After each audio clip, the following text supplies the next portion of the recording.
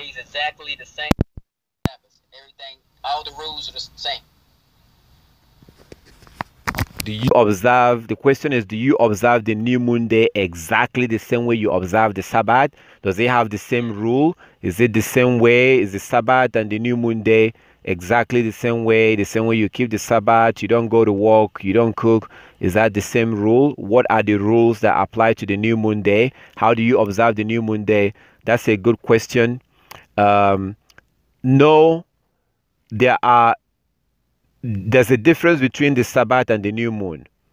There's a difference between the Sabbath and the new moon. Uh, they are not the same.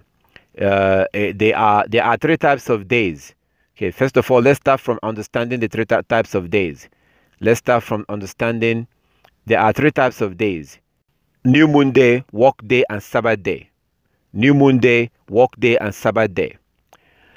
Sabbath day is you don't go to work, you don't cook, you worship, you rest.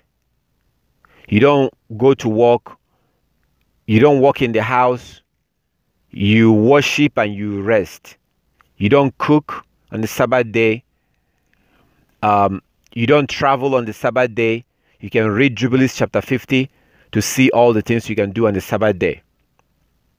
Jubilees chapter 50. If you don't have the book of Jubilee, you can Google it. You can Google the book of Jubilee. And you can read all the laws about keeping the Sabbath. Jubilees chapter 50, you can type in into Google, Jubilees chapter 50. And you Google it and then you read it and you see all the laws about keeping the Sabbath. But New Moon Day is different. New Moon Day is usually at the beginning of the month, of course. The last day or the first day after the last Sabbath the first day after the last Sabbath. New moon day is at that time that the moon is dark. The moon is 100% dark. There's no light in the moon. And then that evening, the light will come into the moon.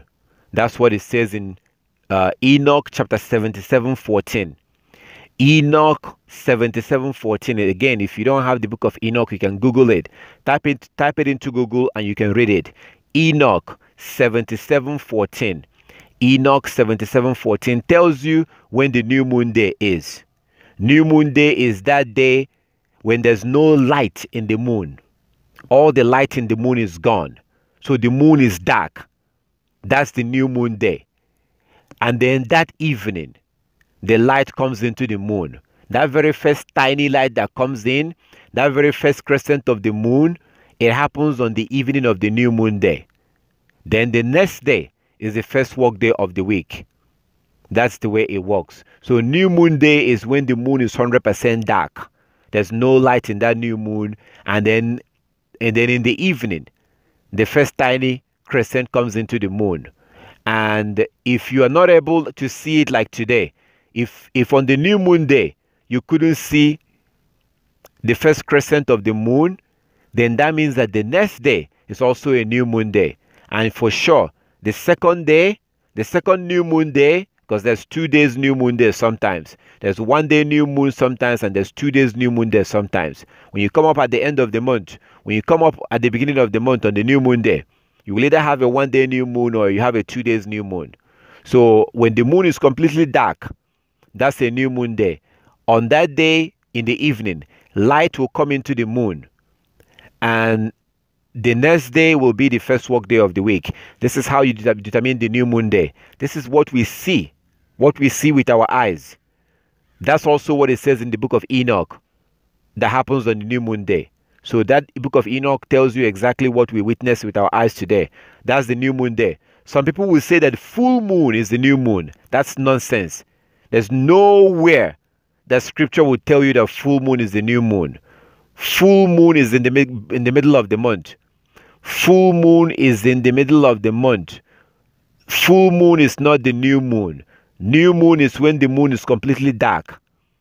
And then the first tiny crescent, which is new, comes into the moon. That is the beginning of the month. That's new moon day. Full moon is not the new moon. I have to clarify that. So, on a new moon day, which is the day after the last Sabbath of the month, we can look at the scripture to see what they did. So in that way, we can understand what you do on the new moon day, how to observe the new moon day. We can look at uh, Nehemiah chapter 8, verse 1 to 12. Nehemiah chapter 8, verse 1 to 12, you see that on the new moon day, they went for worship.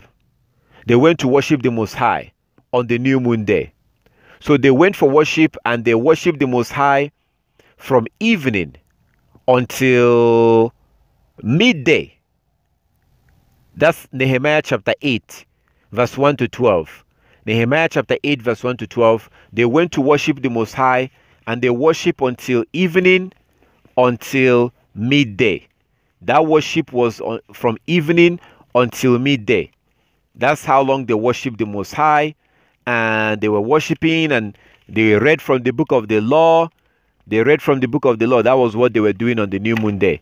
They read from the book of the law, and the people were being taught the law. They learned from the law. Please read Nehemiah chapter 8, verse 1 to 8. I'm sorry, chapter 8, verse 1 to 12.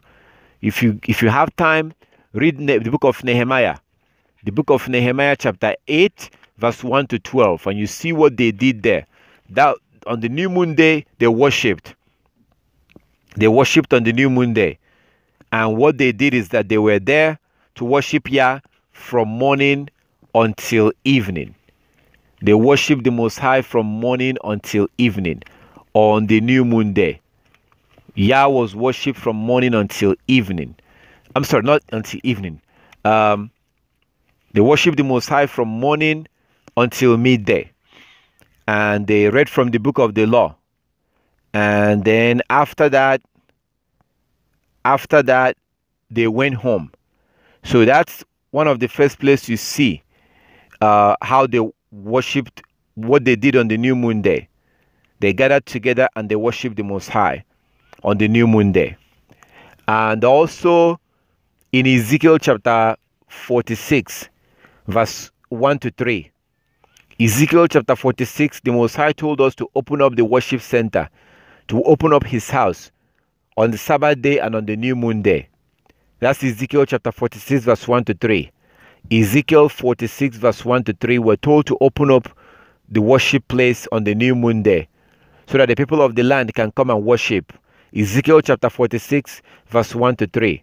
And then in Nehemiah chapter 8, verse, uh, verse 12, 1 to 12.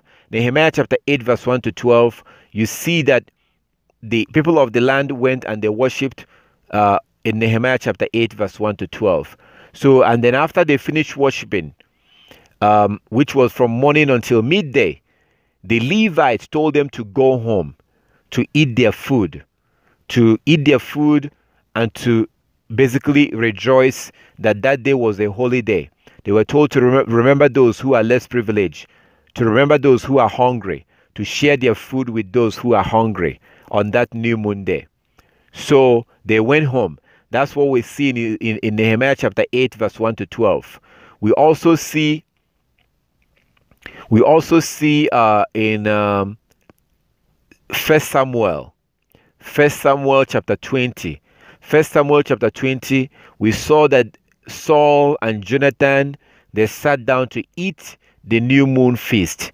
Because you eat as you saw in Nehemiah chapter 8 they went home and they ate. They were told to go home and eat and remember those who are less privileged. In first Samuel chapter 20 we see that the Israelite uh, Saul and Jonathan and David was supposed to be there. They ate on the new moon day.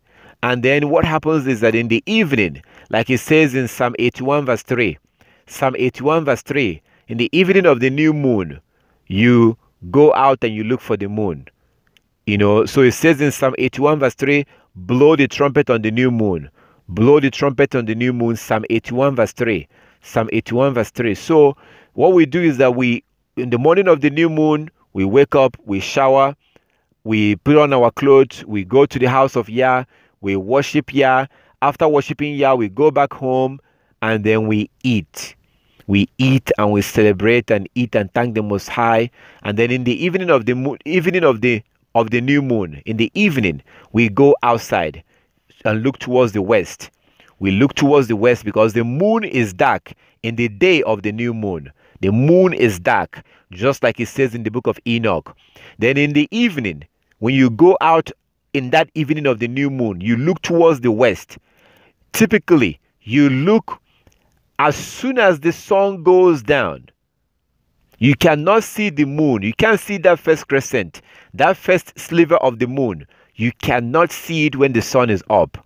So typically, when the sun goes down around 6 p.m. or something like that in your area, when this whenever the sun goes down, that's when you want to look. So you be outside and you're looking towards the west, towards the west. As soon as the sun goes down, after maybe 10 minutes or 15 minutes the sun goes down just keep looking up looking up looking up go out on time and look up towards the west you should be able to see the first crescent of the moon if you see it that evening that means that means you have one day new moon day that means that you have one day new moon day then the next day you go to your work you work for six days and then you rest on the seventh day and keep your Sabbath. You work six days, you rest on the seventh day. You work six days and you rest on the seventh day. But in the evening of the new moon, if you are not able to see the moon that evening, like this evening, today is a new moon day. If you go out in the west and you look towards the west and you're not able to see the moon, you had a clear sky. The sky is clear there was no cloud coverage towards the west. The sun goes down and you're not able to see the moon. That means that you're going to have a two days new moon day. That means that the next day will also be a new moon day. The second day, the next day will be a new moon day. This is exactly what happened in the book of Samuel, First Samuel chapter chapter 20. First Samuel chapter 20. You see that they had a two days new moon day they sat down and ate twice. So if you're not able to see the first crescent of the moon in the evening of the new moon, just like it says in the book of Enoch 77:14, in some book of Enoch, some book, you see this in chapter 78. So the same thing you see in chapter 77. In some book of Enoch, some translations, you will see this in chapter 78.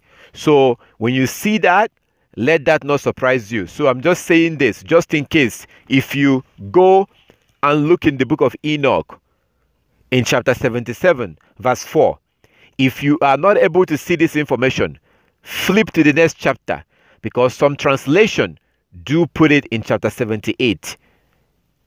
So when you look in Enoch chapter 77, verse 14, Enoch 77 14, and you're not able to see this flip to the next chapter, chapter 77, chapter 78, you should be able to see this information. And it tells you what happens on the new moon day. So, on the new moon day in the evening, if you go out, the moon is supposed to be dark on that day.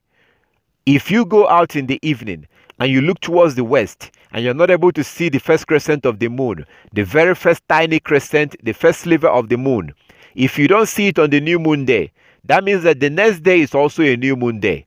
That means you have two days new moon day, just like they had in the book of First Samuel chapter 20.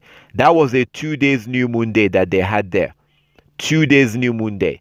So the second day, which is the the the a new moon day also, because you're not able to see the first crescent of the moon the day before. That second day, for sure, guaranteed, that second new moon day in the evening you will surely see the moon. Because at that point the moon is the moon is at this point big enough for you to see it. Like tonight we're not going to see the moon because it's too tiny. I looked on the app. You can download the lunar app. You can go use your phone and go to if you're using iphone you go to app store. If you're using um, android you go to Android store, uh, uh, to the Play Store, Google Play Store, and you can look for these apps on you. Or, or, or they, they have some apps that you can download the Lunar apps.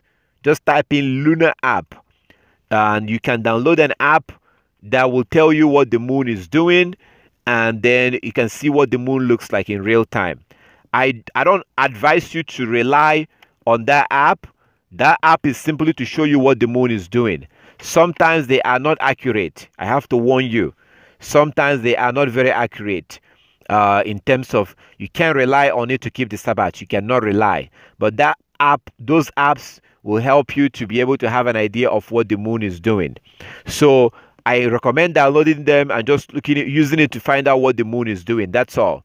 but don't rely on them too much. You still have to go out on the evening of the new moon to see if the moon came out. If the moon comes out in the evening of the new moon, then that means that seven days from that day will be the next, the next Sabbath. The new moon begins the month. Seven days from the new moon. So let's say today is Monday and today is a new moon day. That means that seven days from today will be the, the first Sabbath of the month. And the moon will be half, 50% full, on seven days from the new moon day. Seven days from the new moon day, the moon will look 50% full. That is your Sabbath right there. That's how you determine your Sabbath. Seven days from that, the moon will look 100% full.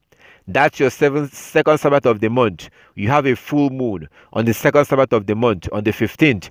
Seven days after that, you have the, the third Sabbath of the month. The moon will look uh, 50, the moon will look uh, 50% full again. Seven days after that, the moon will look tiny, very tiny moon. That will be the last Sabbath of the month. So if today is a new moon day and today is Monday, that means that the next four Mondays will be the Sabbath. If today is a new moon day and today is Monday, that means that the next four Mondays will be the Sabbath. If today is a new moon day and today is Tuesday, that means that the next four, next four Tuesdays will be the Sabbath, the real Sabbath. And seven days from today, the moon will be 50% full, half moon. Seven days after that, the moon will look 100% full, full moon. Seven days after that, the moon will look 50% full, the last quarter. Seven days after that, the moon will look uh, very tiny, last crescent of the moon. The day after that is automatically a new moon day. And then you wake up in the morning, you go and worship the Most High, you shower, you put on your clothes, you go to the house of Yah, you worship Yah. If you don't have a house of Yah to go to, you can stay in your house and observe it yourself. If you have a congregation, you can join them. If you have people online that you worship with, you can join them online. If you have nobody to worship with, you stay in your house.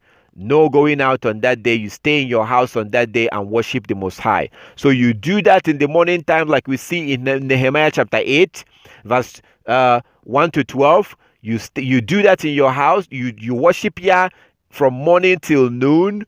Then you go, you, you eat your food. You eat your food if you can. You remember those who are less privileged and help them. You eat your food, and then in the evening you go out and look for the uh, first crescent of the of the moon. When the sun goes down in the evening, as the sun is going down, you go out and make sure you have no trees, you have nothing that will block your view. No tall buildings or trees that will block your view from looking down towards the west. If you have a good a good a good clear sky, there is no cloud coverage. You look towards the west, you, you should be able to see the moon in the evening of the la- of the new moon day. If you see the moon, that means that the next day you go on to work. That's your first work day of the week. The next day after the new moon day is the, first work day of the week. You go on and you go for your business and you go to your work or to wherever you have to go on that day after the new moon day. If you have cloud coverage and you're not able to see the moon on the new moon day for whatever reason, it was raining or there was cloud coverage on the new moon day, that's fine. All praises to our Heavenly Father for technology because you can go to places like the Truth of Yahweh. You can Google New Moon Report uh, and go to look online, look on the internet, New Moon Report, look for website where people do report that they saw the moon or not. There's a couple of good websites. One of them is The Truth of Yahweh. You can simply go to Google you go to Google and you type in new moon report. If you Google new moon report, I think it's the first or the second link that says truth of Yahweh. New moon report, truth of Yahweh is the, the, the, the website is from a, a group known as Truth of Yahweh. You click on that, they should be able to tell you if they because they get report from different parts of the world. People report to them if they saw the moon or not. On the new moon day, on the on that same day that you're looking for the moon this this particular website gets reports from different parts of the world when pe people are reporting to them if they saw the moon or not so if you are not able to see the moon on the new moon day because you have to be able to see the first crescent of the moon you cannot rely on the app or website. You have to be able to go out and see for yourself. But if you're not able to see because it was raining or you had cloud coverage, then you can go to a place like Truth of Yahweh and look and see if they got if they got report that people saw the moon. If if if, you if there's if you are able, you know, if people saw the moon, that means that the next day is, is your first work day of the week. The next day is the first work day of the week, and you go on to your business and you go to your work. If you're not able to see the moon on the evening of the new moon day, that means that the next day is also a new moon day. Then you have to worship again, eat your food, relax, help the needy, and then in the evening, you go out and you look for the, the first crescent of the moon. The second day of the month, I almost I guarantee you for sure, on the second day of the month, you will definitely see the first crescent of the moon. Because at that point the moon is now big enough uh, for you to be able to see. This is how it works. So we have to do this. We have to observe the new moon day because the most high said so. We have to observe it. And even in isaiah chapter 66 isaiah chapter 66 it says that uh, that as the new heaven Isaiah 66, 22 and 23. Isaiah 66, 22 and 23. That as the new heaven and the new earth that he will create will last, that from one new moon to the next, to one, one Sabbath to the next, that all flesh will come and worship before him. From one new moon to the next and one Sabbath to the next, as the new heaven and the new earth that he will create will last. So even in the kingdom, we are going to be acknowledging new moon day. We're going to be worshiping the Most High on the new moon day. That's a fact according to Isaiah chapter 66, verse 22 and 23. Isaiah 66, 22 and 23. So uh, it's, it's something that we have to do right now because our Heavenly Father told us to. So on the new moon day, that's how you observe the new moon day. And I had to do this this way to use scriptures to answer you this uh, this question and to show you in scriptures the things that they did. First, you have Ezekiel chapter six, uh, 46.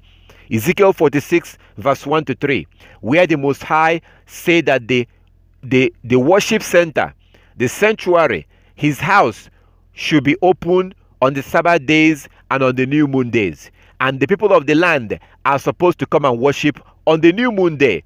That's Ezekiel chapter 46, verse 1 to 3.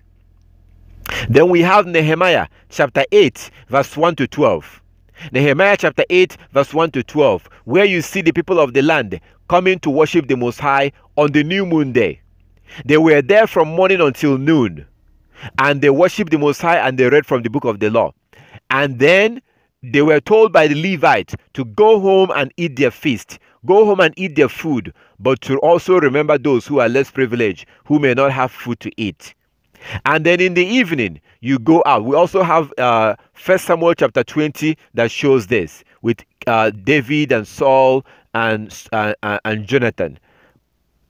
They had a two days new moon days in that case because according to First Samuel chapter 20, they sat down to eat and Saul did not say any, say anything when he saw that David's seat was open.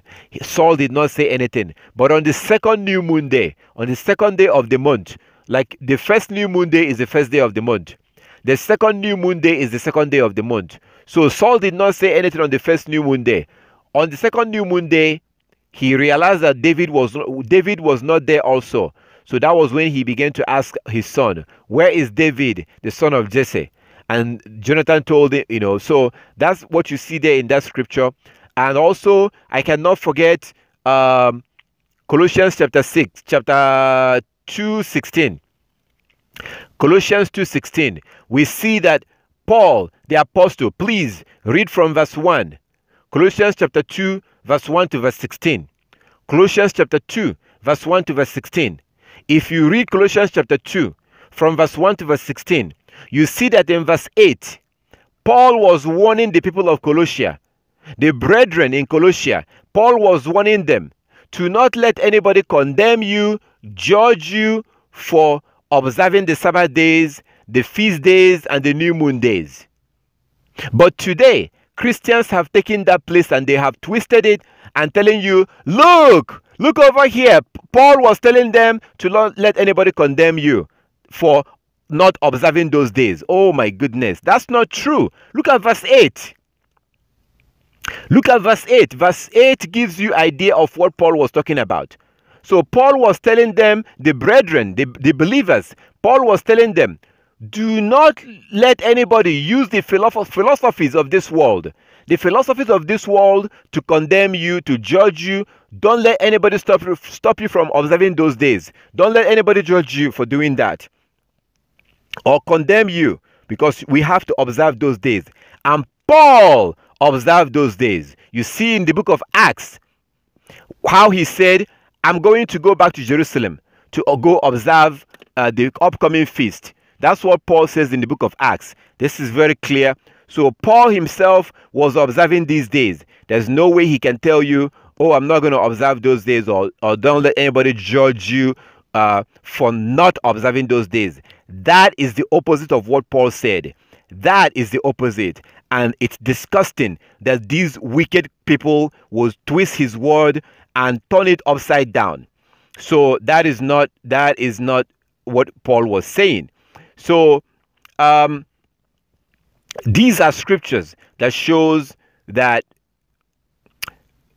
it's very clear that we are to observe the new moon day and it also gives us information on how to observe the new moon day. We were told how to observe it and how to observe these things. So if you go to Acts of Apostle, I want to show you Paul the Apostle that he observed these feast days. Look at Acts of Acts of Apostle chapter 18. Acts chapter 18. Here is the words of Paul. I'm going to read something that Paul said about the feast days. So how can he be observing it and then he tell people not to observe it? That's absolute nonsense. Christianity is one of the no, sorry. Uh, let me let me say that right. Sorry, I said one of the. It's not one of the. It's not one of the. Christianity is the worst pagan religion in the history of mankind because they take the scripture and they twist it. So where Paul tells you to do something, they will say, "Oh, he said we shouldn't do it." Where the Messiah says to do something, they will twist it and turn it upside down. Christianity is the worst pagan religion in the history of mankind. And if you are a Christian and you are in Christianity, you are a fool. You need to get out. Get out now while you still can. Look at Acts chapter 18. Acts chapter 18, verse 20. Uh, look at Acts, Acts chapter 18. Acts chapter 18, verse 21. But I'm going to start. I'm going to start before that so we can understand what Paul was saying here. Before I get to verse 21, uh, I'm going to start from verse, let's see, from verse 18. Let's start from verse 18 so we can kind of have an idea. When you get a chance, read the whole chapter. So you make sure that I'm not twisting it. So Acts chapter 18 from verse 18. Acts 18 from verse 18. And Paul, after this, tarried there yet a good while and then took his leave of the brethren and sailed thence into Syria. And with him Priscilla and Aquila, having shorn his head in Cant Centuria, for he had for he had a vow. That's a vow of the Nazarene, according to the book of Numbers. When you take that vow, when you're done, when you when you complete the vow, you shave your hair. That's for the men. According to the law in the book of Numbers, when you take the vow of the, uh, vow of the Nazarene, when you're done, you shave your hair. So he had taken that vow and he completed the vow and he shaved his hair. Uh, so in verse 19, Acts chapter 18, verse 19, Acts 18, 19, and he came to Ephesus and left them there. But he himself entered into the synagogue and reasoned with the Yahudis. Verse 20 When they desired him to tarry longer, longer time with them, he, consent, he consented not. Verse 21 But bade them farewell, meaning, Bye, I have to see you later. I have to go now. Verse 21 but bade them farewell because they wanted him to stay longer. According to verse 20, when they desired him to stay longer, with them. He consented not. He said, No, I have to go. Verse 21, Acts 18 21. But bade them farewell, saying, I must by all means, and I'm reading from King James. This is King James. but bade them farewell. Acts 18 21. But bade them farewell, saying, I must by all means keep this feast that cometh in Jerusalem. But I will return again unto you if Elohim wills, if God God wills. And he sailed from Ephesus. Now, some translations actually remove that part. Look this up in multiple translation.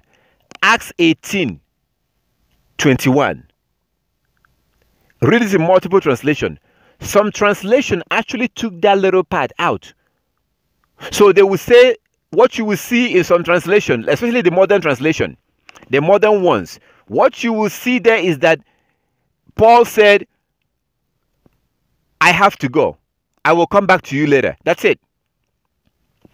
So that part where Paul said in Acts 18:21, Acts 18:21, that part that he said, I must by all means keep this upcoming feast in Jerusalem. Some translation took that little part out. They actually took it out. So what you're going to see is that Paul will say, "Oh, I have to go. I will come back to you later." But he doesn't tell you why. But in King James, it tells you why. Let me look at this translation right here. Because this is one of the modern ones. Acts 18:21. And I would like to give you this as an assignment. Check it out. Look at it. Look at multiple translations. Paul told them, I have to keep this upcoming feast in Jerusalem. Uh, that's in King James. In other new translation, they took that out. So, as a Christian, if you read it from NI, NIV, or all this other modern translation, you will not understand why Paul said that he has to go. Now, why will they take that out? If he says I have to go because I have to be in Jerusalem so I can keep all the, keep the upcoming feast. Well, Christians don't believe in keeping the feast. So you can understand why they have to take that out. May curse be upon these people and all those that don't want to keep the law because that's what you see in the book of Deuteronomy. In the book of Deuteronomy, it's very clear that anyone that refuses to follow the law, curse will be upon them. That's what it says. That's not what I'm saying. You may be shocked that I just said that. I'm just quote, quoting the scripture in the book of Deuteronomy. I'm just quoting the scripture. It says that anyone that refuses to keep the law may curse be upon them. So to you, you may think, oh, this brother is, wow, man, he's so mean. He's so rude. He's so mean. Look at Deuteronomy chapter uh, 27. Deuteronomy chapter 27 and start from verse 11. It gives you all the curses that will be upon people. Deuteronomy chapter 27 from verse 11. Deuteronomy chapter 11, chapter 27 from verse 11 all the way to the end. Deuteronomy chapter 27 from verse 11 and then look at verse 26. Deuteronomy chapter 27 verse 26. Deuteronomy I'm going to read a couple of a couple of courses before we get down to to the end of the verse. But you can read Deuteronomy chapter 27 from verse 11 and you see all the courses. Deuteronomy chapter 27 I'm going to start from verse 18. Deuteronomy chapter 27. And this is part of the law of Moses, right? That we're told to follow. Deuteronomy chapter 27, from verse 18. Cursed be upon anyone who misleads a blind person on the road. And all the people shall say, Amen. Verse 19. Cursed be upon anyone who deprives an alien, the orphan, or and, and the widow of justice. And all the people shall say, Amen. Verse 20 Curse be upon anyone who lies with his father's wife Uh, because he has violated his father's right.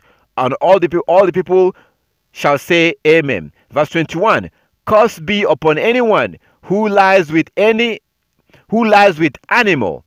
Curse be upon anyone who lies with with any animal. All the people shall say, Amen. Verse 22 Curse be upon anyone who lies with his sister, whether the daughter of his father or the daughter of his mother. All the people shall say, Amen. Verse 23 All the curse be upon anyone who lies with his mother in law. All the people shall say, Amen. Verse 24 Curse be upon anyone who strike down a neighbor in secret. All the people shall say, Amen. Verse 25 Curse be upon anyone who takes bribe, who takes a bribe to shed innocent blood. All the people shall say, Amen. Verse 26 Curse be upon anyone who does not uphold the words of this law by observing them. All the people shall say, Amen. So when I say, Curse be upon anyone that refuses to keep the law, you may think, oh, that's so harsh. That's Deuteronomy 27 26. Deuteronomy 27 26. Deuteronomy 27 26. Curse be upon anyone who does not uphold the words of this law by observing them. All the people shall say, Amen. So anybody that refuses to keep the law of the Most High, there's a curse upon them. They have curse upon them. So those that took out certain things and twist certain things, curse will be upon them because they are making it they are making it difficult for people to observe the law of the Most High. So if you look at multiple translations, you see that in Acts chapter 18, verse 21. Acts 18:21, for example, I'm going to read here in this translation right here. It says in Acts 18:21, but taking leave, his but taking leave, taking leave of them, he said, I will return to you if God wills. Then he said, then he set sail from Ephesus. Like this translation right there, right here, they took it out. This is new, the new reverse standard version. They took that out. In King James, it tells you exactly the reason why, exactly the reason why Paul left them. Paul was very clear. Sorry, I have to go. I'm going to have to go because I have to go back to Jerusalem. I need to observe, I must, by all means, observe the upcoming feast. I must by all means observe the upcoming feast. But these wicked sons and daughters of devils have twisted his word. And that area, that part where he says that I have to go back to Jerusalem because I need to observe the upcoming feast. They took that out to give you the impression that Paul was not keeping the law, to give you the impression that Paul was not keeping the feast, so that they will be when you come to uh, to um, Colossians chapter two, verse sixteen. They have twisted it to show that oh look over here according to uh, Colossians chapter 2 verse 16 you don't have to observe the Sabbath you don't have to observe the law because Paul said so that's why they have to twist it and remove that in, King, in, in the other translations. But you can still see it in King James. So you have to make up your mind what you want to do. Do you want to continue fooling yourself, deceiving yourself, and claim, keep claiming that you don't have to keep the law? You don't have to keep the laws. You don't have to observe the Sabbath. You don't have to observe the feast. When you see that Paul himself was, uh, was observing these things, do you want me to show you in the book of Acts where he was observing the Sabbath? It's right there. Paul was observing the, the Sabbath days, the feast days. When they accused him of teaching against the law, when they accused Paul of teaching against the law, he denied it. Why didn't he say, actually, that's true. We don't have to keep the law. That's why I was, I was teaching against it. He didn't say that. He denied teaching against the law. Now, that could only mean one thing either he was lying, either he was running around the world among the Gentiles, teaching against the law, and then when he was confronted, he lied. That could be the only reasonable explanation. Why will he deny when he was confronted? When Paul was confronted, he denied it and he proved to them that he wasn't teaching against the law by going to the temple to this to this uh, to the uh, the sanctuary of Yah, and he offered an animal sacrifice to prove it. He, he shaved his hair, completed his vow, and paid. Not only did he pay for animal sacrifice, he paid for the animal sacrifice of the other brethren. He paid for the animal sacrifices too to prove that he wasn't teaching against the law. But today, you see people that will tell you that Paul was teaching against the law, that he wasn't keeping the law that it wasn't okay to, to, to, to keep the law because Paul was Paul did not keep the law. This is all lies and can only be believed by wicked people who did not want to keep the law. So when a filthy, pork eating, wicked individual tells you that you're not under the law, under the law because Paul said so, you believe them. Why do you believe them? Why do you believe Christian pastors? Because you are wicked too. Because you don't want to keep the law. So in Paul in Acts chapter 21, read Acts 21. They accused Paul of teaching against the law. Why didn't he say, Yes, I did? He denied it. The brethren that was around told him, We're hearing this thing that you're teaching against the law. And now that you came into Jerusalem, the rest of the Israelites are going to hear that you came back and they may try to confront you. So, we want you to prove to them that you're not teaching against the law. Paul could have said, No, no, no, brethren. Oh, no, hell no, brethren. No, no, no, no. You know, you see, what you had was true. Yes, I was teaching against the law because Jesus died and was put on the cross, and we are no longer supposed to follow the law. So I was teaching that.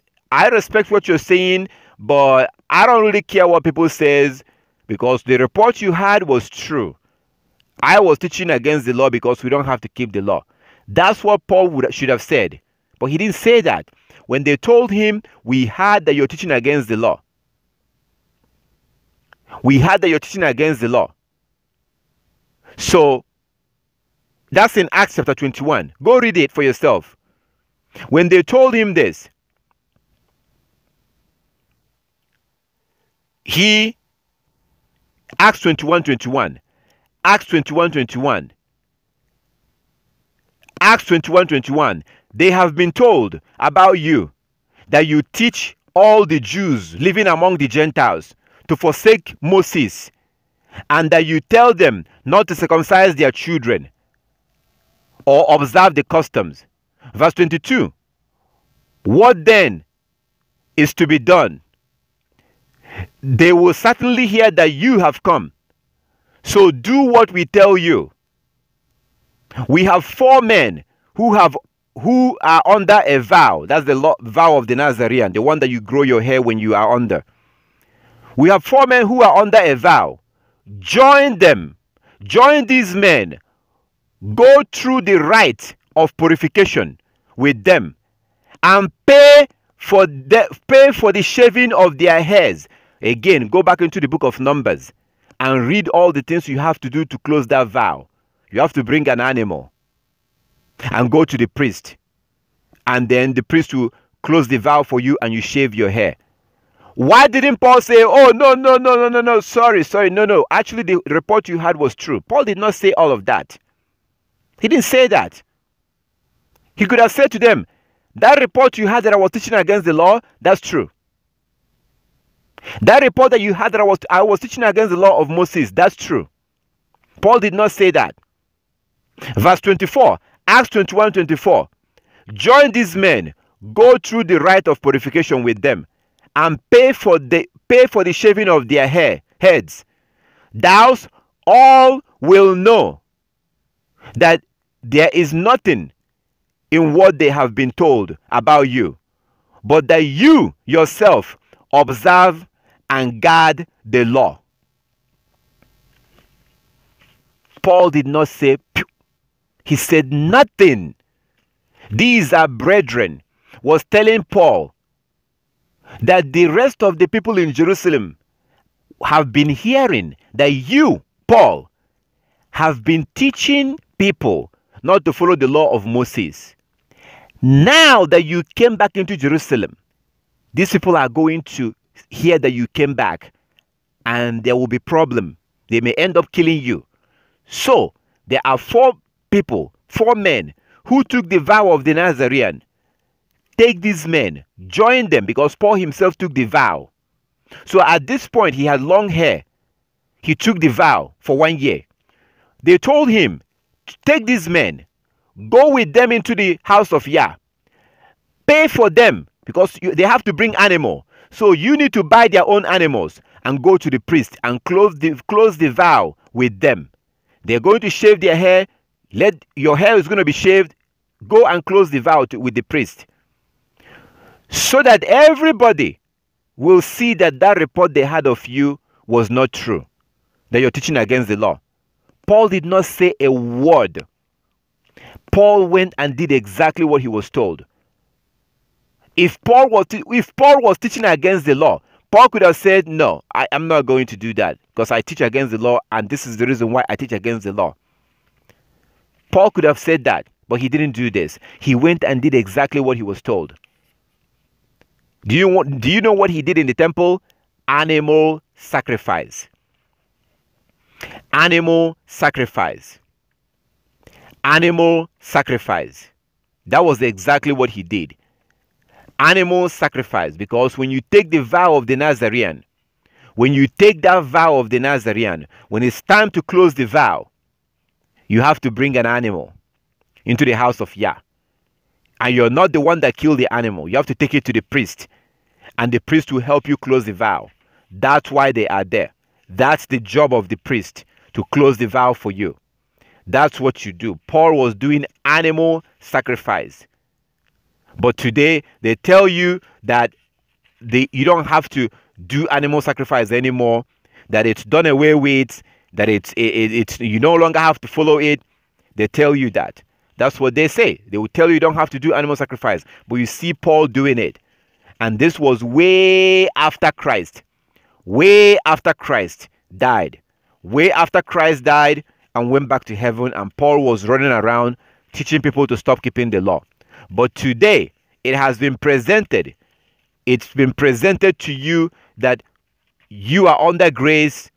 You don't have to keep the law. You don't have to follow the law. Uh, animal sacrifice is done away with. Uh, Paul was teaching that you don't have to keep the law. Paul never taught that. Paul never taught anything like that. Paul never taught anyone not to keep the law. Paul himself was keeping the law. The brethren in Jerusalem, they told Paul, they said, Do this so that everybody will see that you yourself are keeping the law. Paul did not say a word. If Paul was not keeping the law and he himself was teaching against the law, he could have stopped the brethren and say, No, I don't keep the law because Christ died on the cross. Why didn't he say that? Why didn't he say that? But upon everything that I'm saying right now, there are people out there that will hear all this and still believe that we don't have to keep the law. And to that I say, may curse be upon you. You will never see good in your life. The curses on the curses and the evil from the Most High will be upon your head until you start keeping His law. Cause will you will never have peace. You will never have peace of mind. You will always be in trouble. You will always, you will never have peace of mind. Anyone that hears this truth and still reject and refuse to keep the law, curse will be upon your head. Look at Numbers chapter chapter chapter 6. Numbers chapter 6 is where you see all the things you have to do to close the vow. Numbers chapter 6 is where you have to see the things you need to do. I'm not going to read the whole chapter. You can go back and read Numbers chapter 6 to see exactly what Paul did in that temple. He did animal sacrifice. Paul the apostle did animal sacrifice. It's very clear. Numbers chapter 6. Let's start from verse 13. But I do will recommend that you read the whole chapter at your own time. I'm going to start for the sake of time from verse 13. Numbers chapter 6, verse 13 shows us what Paul did in that temple. He did animal sacrifice. Numbers chapter 6 from verse 13. This is the law for the Nazarite. When the time of their consecration has been completed, they shall be brought to the entrance of the tent of the meeting, and they shall offer their gift to Elohim. One male lamb, one male lamb, a year old, without blemish, as a burnt offering, one ewe lamb, a year old, without blemish, as a sin offering, one ram, without blemish, as an offering of well being. These are all animals. Verse 15 a basket of unleavened bread, cake of choice flour, mixed with oil and unleavened wafer spread with oil with their grain offering and their drinks, drink offerings. Verse 16 The priest shall present them before Yahweh and offer their sin offering and burnt offering. Verse 17 And shall offer the ram as a sacrifice of well being to Elohim, to, to Yahweh, with the basket of unleavened bread. The priest also shall make the accompanying grain, grain offering, and drink. Verse 17, verse 18, Numbers 6 18.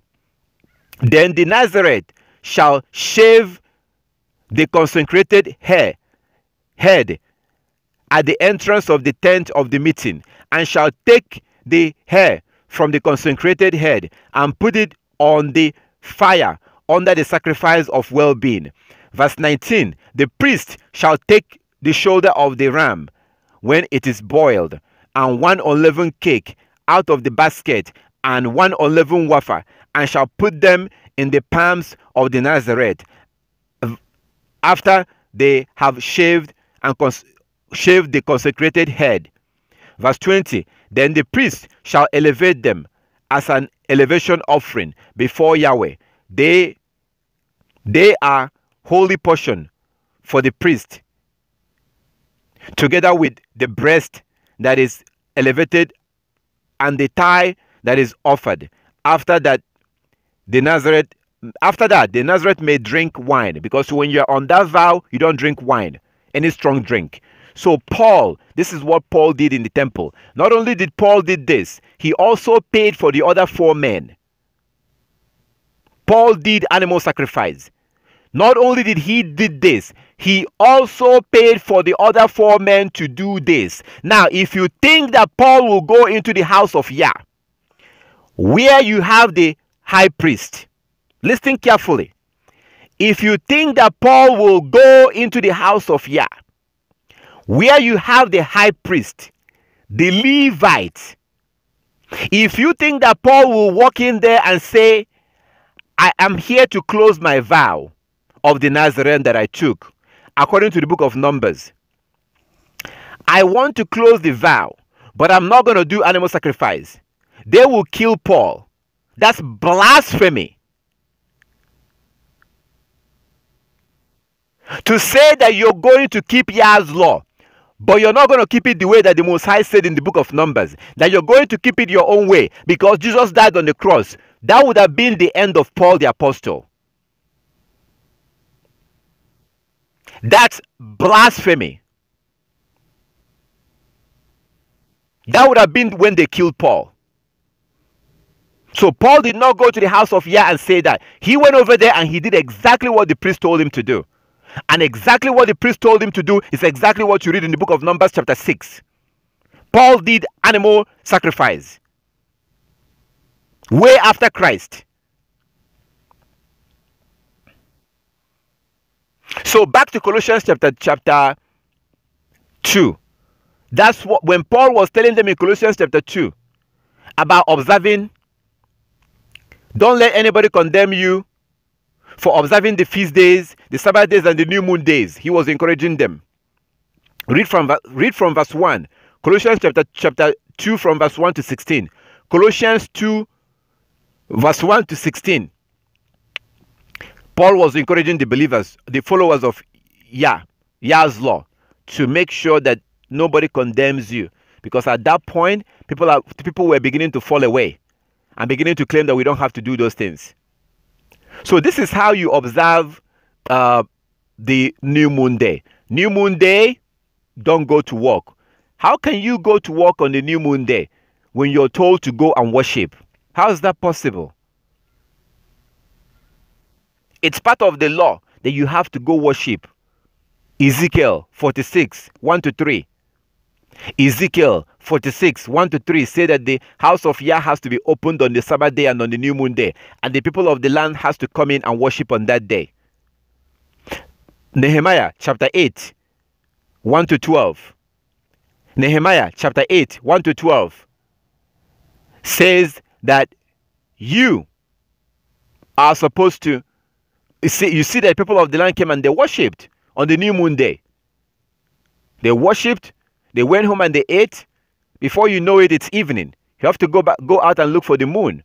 If you see the moon, then the next day is the first work day of the week. You work for six days, you rest on the seventh day. You observe your Sabbath. The next day, you go back to work. You work for six days, you rest on the seventh day. This is so simple, very basic. So if you are to follow the scriptures, you see that you can't just wake up on the new moon day and get ready and go to work. You're not observing the new moon day if you do that. You wake up, you worship Yah, and you, you go and you worship Yah. If you have nobody to worship with, worship by yourself. Stay home. You cannot wake up on a new moon day and go to work. We're told to worship on that day. That's scripture. So that's how you observe the new moon day. Can you do stuff around the house? Yeah, after worship. Because you have to cook the food that you eat. You cannot cook on the Sabbath day, but you can cook on the new moon day. You cannot cook on the Sabbath day, but you can cook on the new moon day.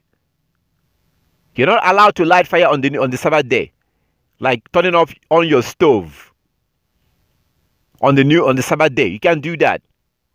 That's Exodus 35 verse 3. Exodus 35 verse 3. You can't cook on the on the Sabbath day. You can cook on the new moon day. If you want to cook, that's fine.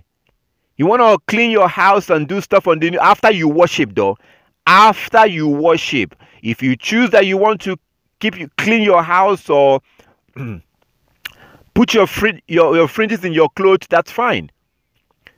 The Sabbath is a lot more stricter than the new moon day because you can't cook on the Sabbath, you can't light fire, you can't go to work. There's so many, like it's more restricted. It's a rest day. You worship on the Sabbath and you rest. Study your scriptures. Rest. New moon day is a little bit, you know, different. You still have to worship on the new moon day. And you can't be going to work when you're supposed to be at worshiping. After worship, you go home and you rest, you wait, you eat your food. And then in the evening, you go out and look for the moon. If you want to do stuff around the house while you're waiting for evening, that's fine. That's up to you. There's no law that says you shouldn't do that. What the law says, what the word of the Yah say, word of the Most High said is that you have to worship on that day. So if you do it properly, there may not even be a room for you to go to work on that day, and you shouldn't go.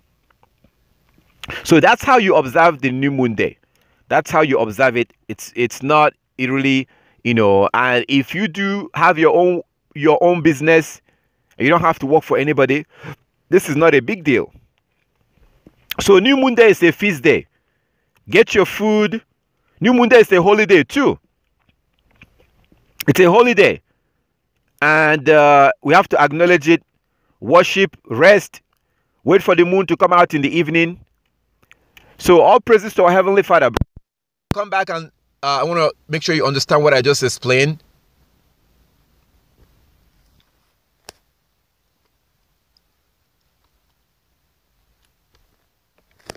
Do you understand what I just explained?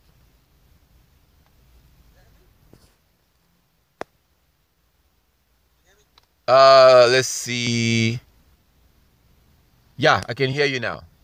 Yeah, I understand, but uh, so uh, now I'm asking since you say you can cook, so I'm assuming you can go to the store and buy groceries that day after you worship, or stuff like that, or no? Can you do what? Like you're allowed to after you worship, allowed to like go to the store buy groceries and everything like that. You ain't allowed to buy nothing. Well, you should get all the stuff you need ahead of time you should get it all ahead of time because you, you should you should get those things before because if you go and worship and then get off have to go buy groceries when are you going to cook the food in order to eat it so that day may actually end up being a stressful day for you so you should get those things ahead of time now we do have a scripture that says that the people of people that was selling stuff in the land of Israel. The people that sell their that sell things.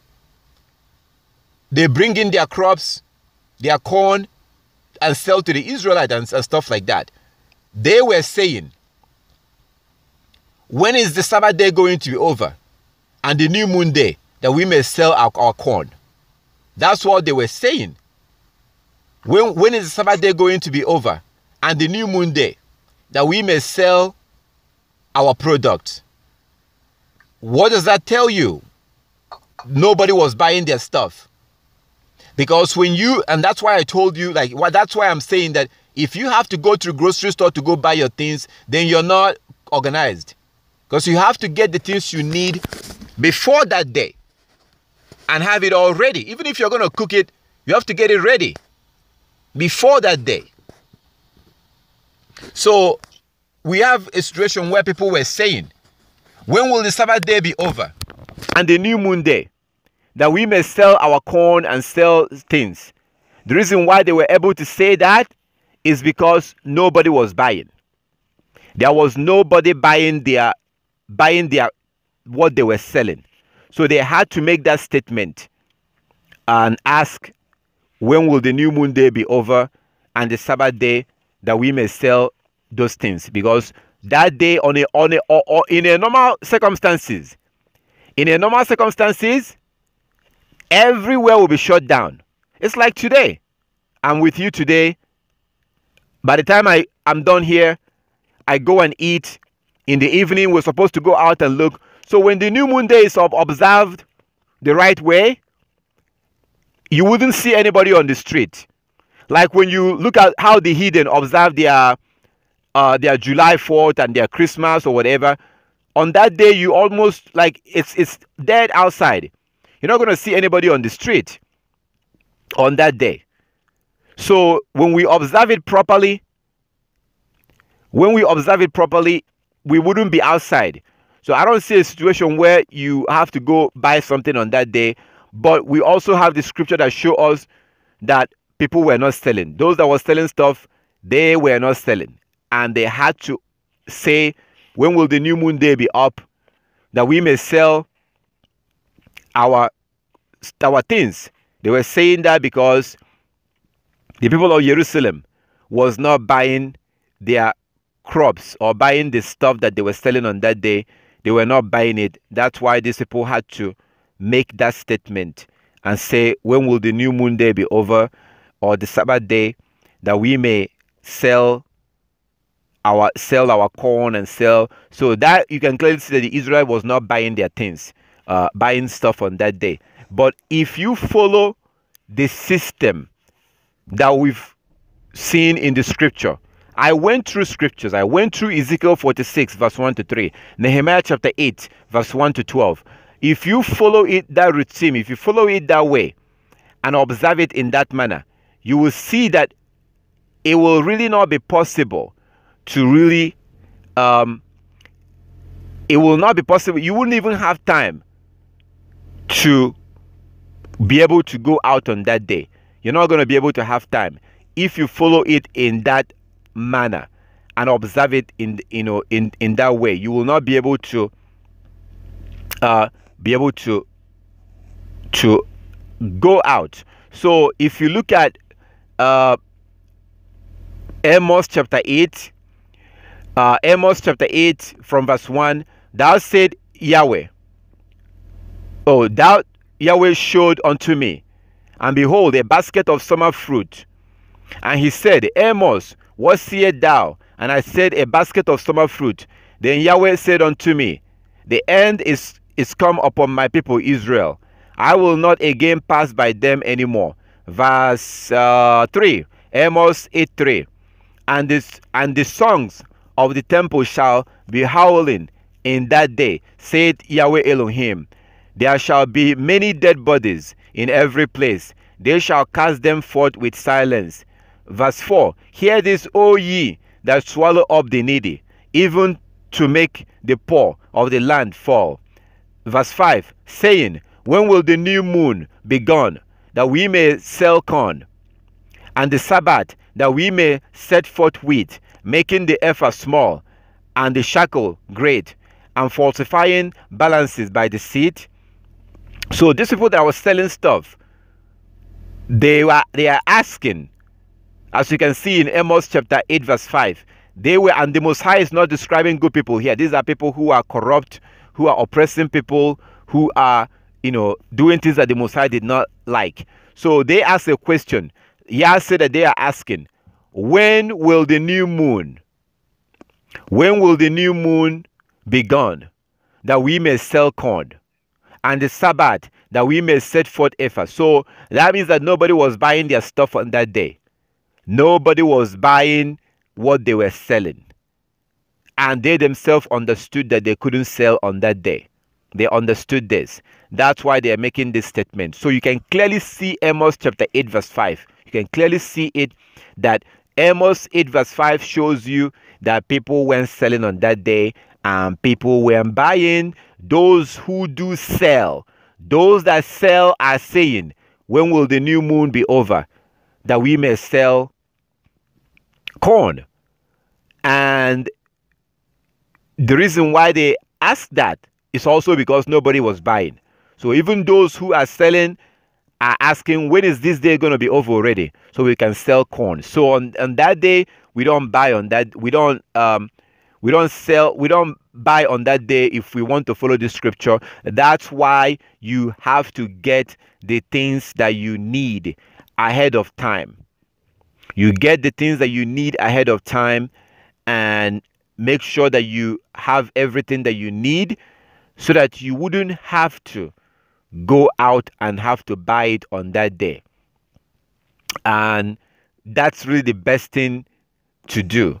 Get all the food you need, get everything you need, whatever you want to cook on the new moon day, and it's a wonderful day. It's a day of feast. It's a feast day that we eat and enjoy and just relax after we finish our our worship.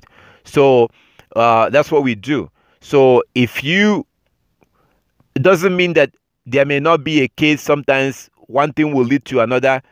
The day before the, the Sabbath, the day before the Sabbath, something may happen, and you may not have it. You may not have time to go get everything you need. That can happen. That something like that can happen. That the day before the Sabbath, you may not have time to go gather and get everything you need. That's a there's a possibility that something like that may happen. So I'm not saying that it cannot happen. Sometimes you plan, I'm going to do this, I'm going to do this, I'm going to do this, and then you had everything all planned out. And then on on the um on the new moon day or the the day before the last Sabbath of the month, something may happen and will throw off all your plans. So here you are planning that you go get everything you need for the Sabbath and for the new moon, and something may happen and you may not be able. By the time you may finish taking care of that thing, it may be too late. So in that circumstances, that can happen. But you know, one of the things that are good now, kind of good, not really good, but the fact that you can still go to some places and buy things at night, you can use that opportunity and get the things that you need. So you can prepare the things that you need for the Sabbath and eat them. Then on the new moon day, after your after worship, you can then prepare your food because it's a feast day. It's a feast day. It's a time that we eat, you know, sit, eat, and just celebrate. And you know, it's a feast day. So that's what we see in the scriptures. If it's done right, you wouldn't have to go buy anything. Like today i don't have to go buy anything because i pretty much have everything i need. I make sure i have water have food have everything that i need. And if you don't have it on the new moon day you can cook it on the new moon day. But according to the scripture we see in amos chapter 8 verse 5 you can clearly see that those who are selling something in the land of israel they were not selling on that day. And they themselves were asking oh when is the new moon going to be over that we may sell our corn so they are definitely not selling on the new moon day, and people of the land was definitely not buying. It's best to get the things you need before that day. Going to work on the new moon day, if you keep it properly, you wouldn't go to work on the new moon day. If you keep it properly, you wouldn't have to go buy, but get the things that you need. Just get the things that you need and make sure you have them. So that's what we see here uh, when it comes to the new moon. Uh, I pray and hope that you will follow these laws and the commandment and follow them um, according to the scriptures. The answer I'm giving you, I'm trying to give you according to the scripture. I'm not going to sit here and tell you that you can do this or you can't do this without being able to show you so you can see for yourself. So if you doubt or you have concern about buying something on the new moon day, we have Amos chapter 8, verse 5. Uh, are you going to go to work on the new moon day? We have the scripture that say you have to worship on that day. And the people of the land worship, and after that you eat your feast. So that's a day of rest, basically. So all praises to our Heavenly Father. Do you understand what I explained? Yes, sir. Okay, so do you still have question about that? Is there something that you still uh,